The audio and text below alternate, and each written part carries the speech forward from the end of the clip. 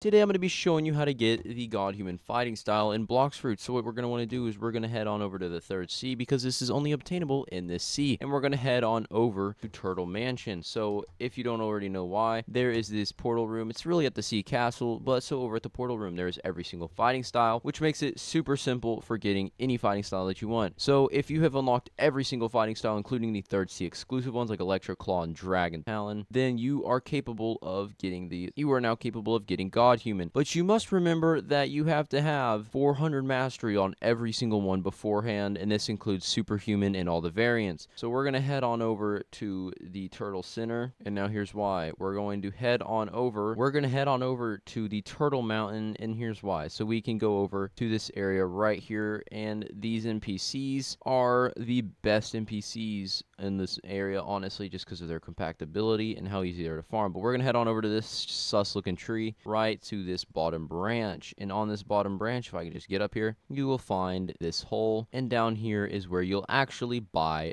the God Human. And this allows you just to get God Human if you've already owned it. There is a few list require item requirements, but that's pretty much it for the video. If you have any other questions on how to obtain God Human, you can comment down below or join my Discord server linked in the description. And if you need help with grinding mastery, there is a video linked in the description on the best ways to do that. That's it for the video. Thank you so much for watching and